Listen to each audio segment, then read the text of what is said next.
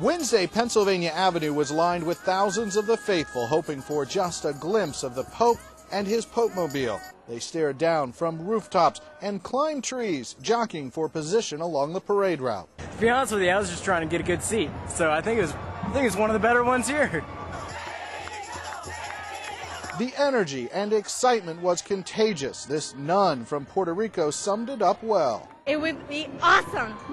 At times, it was like a sporting event with the wave, hawkers pushing pennants, and loud chants and cheering for the Pope. Benedicto! But Benedict's fans stressed this event is more important than any World Series or Super Bowl. This is nothing like a soccer game. This is nothing like a, a, any event. This is a match event. This is our Pope. This is the one that he's going to bring our salvation. This is it. Benedict number one!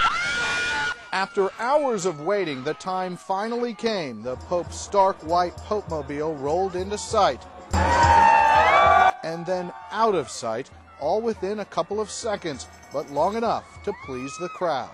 I wouldn't give up those three seconds for anything in the world. we love him.